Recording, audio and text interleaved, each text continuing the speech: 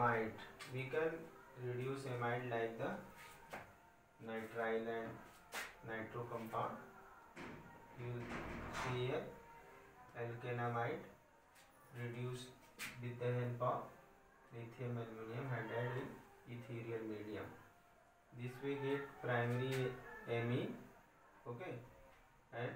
water molecule next is half Hofmann bromamide degradation reaction degradation means loss of carbon here one carbon will be salt means loss of one carbon will be here amide group with the help of bromine and base gives primary amine and carbonate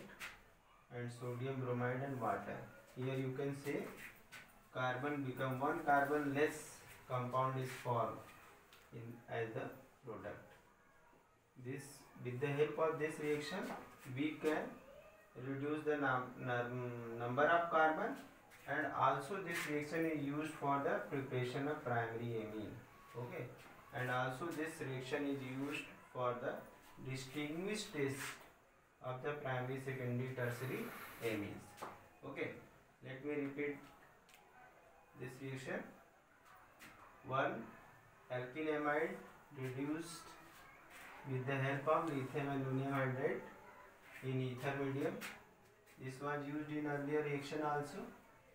this way you can use for the reduction of any compound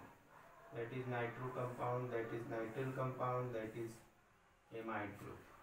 this way we can get primary amine next one is Hofmann bromamide degradation reaction in which we degrade amide group this one the amide group is degraded by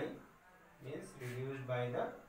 this bromine and sodium hydroxide in form of primary amine sodium carbonate sodium bromide and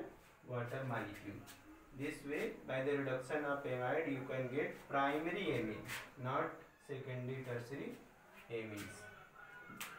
okay? In next we will study about the Gabriel pathylamide synthesis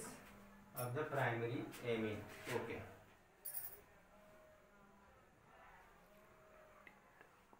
Note down this two reduction reactions